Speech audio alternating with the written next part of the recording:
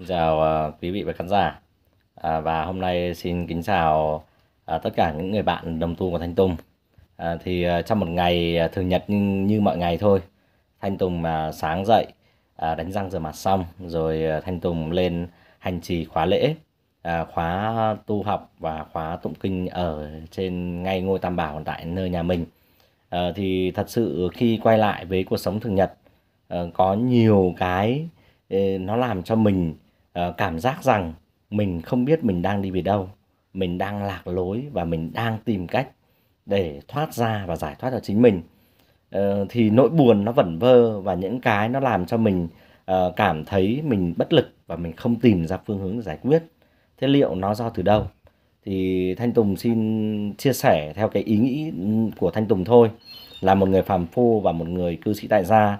Thì theo những cái hiểu biết hạn hẹp của Thanh Tùng thì nỗi buồn và những ưu não nó đến không phải từ hoàn cảnh không phải từ khách quan bên ngoài mà nó chính tại nơi ta và an lạc cũng chính tại nơi ta.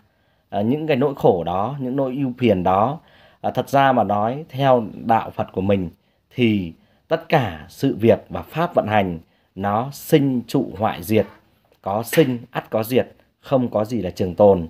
Chỉ có những cái điều yêu thương hằng còn mãi đó mới là điều bất diệt. Và ái diệt thì vi lạc. À, thương quá yêu quá ghét quá giận quá cũng làm cho chúng ta nghĩ là chúng ta hoan hỉ nghĩ là chúng ta sẽ đau khổ. Nhưng hoan hỉ đó và nỗi khổ đó rồi cũng sẽ mất đi theo thời gian mà thôi. À, và bản thân cơ thể của của Thanh Tùng và các bạn ngồi đây cũng vậy thôi cũng không còn mãi được. À, ngay trên cơ thể mình cũng sinh diệt liên tục và cái đó là cái bài học vô thường. Và vô thường thì không ai có thể là tránh qua cái quy luật đó. Và ai cũng đi theo quy luật của nhân quả. Tin sâu nhân quả dù là ai cũng đi theo quy luật đó. Và mỗi một con người ờ, như chúng ta hiện nay bây giờ, trong thời kỳ này ờ, vật chất được ừ, ờ, được quý trọng hơn, được dâng lên cao nhiều hơn. Và mọi người có một cuộc sống Ờ, nghĩ giàu có hơn uh, thời xưa rất là nhiều. Nhưng uh, có nhiều người bây giờ hiện tại giàu có và họ đạt đỉnh cao về vật chất về tài sản nhưng liệu họ có phải là người hạnh phúc nhất không? Hay là một vị minh sư ở trên núi và họ tu theo phái tu độc giác thì họ an lạc hơn trong từng giây phút? Thế theo các bạn thì liệu là an lạc là như thế nào? Và những người đó họ tìm con đường giải thoát là ra sao? Theo mình thì giải thoát là từ trong giây phút, từ trong rất ừ, phút giây mình không trói chằng và bất kể một ý niệm, một ái niệm và không nghĩ rằng một cái ngã đó, một cái tự ngã đó và một điều ưu phiền đó nó gắn buộc với mình, nó chẳng buộc vào mình.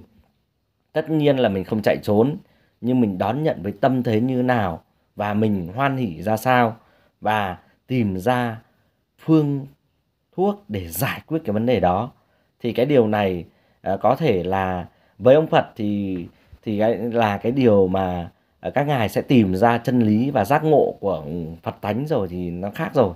Nhưng với mình phàm phu thì thời gian có thể lâu hơn nhưng mình quay lại cái bản thể chân như của mình vốn hằng như đã thế nữa thì nó sẽ đơn giản hơn rất nhiều.